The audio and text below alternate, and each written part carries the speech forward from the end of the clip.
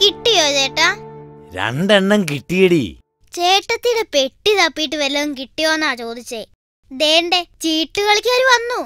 അവിടെ പെട്ടി തപ്പിയിട്ട് ഒന്നും കിട്ടിയില്ലടാ. എനിക്കാണെങ്കി വിശക്കുന്നു. എങ്കിൽ പിന്നെ ചട്ടി തപ്പാൻ മേലായിരുന്നു. ഇന്നലെ ഒന്നും കഴിച്ചില്ല. വയറ് കത്തുന്നടാ. നമുക്ക് ഹോട്ടലിൽ കയറി വടയും കട്ടന് മേടിക്കാൻ ചേട്ടാ.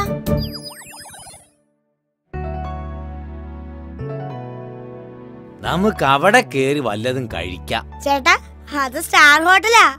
സ്റ്റാർ തിന്നണ്ട. വട തിന്നാം. വാടാ.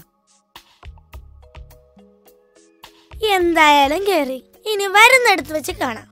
ഗർഭമുള്ള ദോശയുണ്ടോ? എന്നതാടി അതിന് പറയുന്ന പേര്? ആ മസാല ദോശ.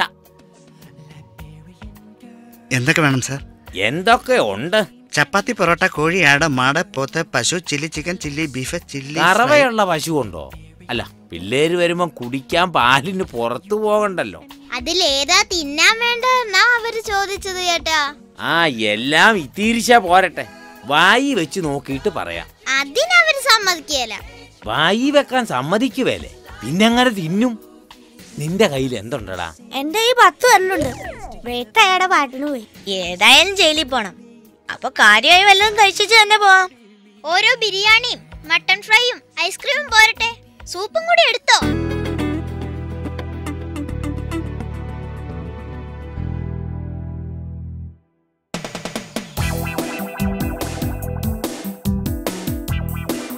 ബില്ലൊന്ന് കാണിച്ചാടാ. ബില്ലൊക്കെ കാണിക്കാം.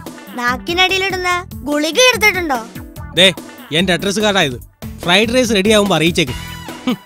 ഹും, ചേട്ടൻ പതിയെ എഴുന്നേറ്റാ മതി. ഞങ്ങൾ കൈ കഴിയേച്ചു വരാം. ആ രണ്ടാമത്തെ മെഷീൻ ഇരിക്കുന്നത് ഞങ്ങളുടെ അങ്കിളാ. പുള്ളിക്കാരൻ ബില്ല് പേ ചെയ്തോളൂ.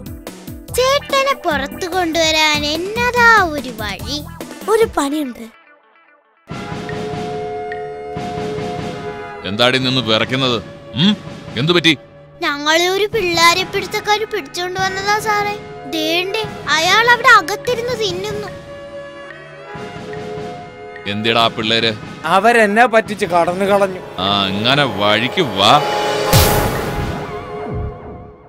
നിന്നെ കൊറ നാളായിട്ട് ഞാൻ തിരക്കുന്നു. നീ പിള്ളേരെ പിടിക്കും അല്ലടാ. അയ്യോ സാർ ഇയാളല്ല. ഒരു ചുമന്ന ഷർട്ട് ഇട്ടാളാ ഓടിക്കോ.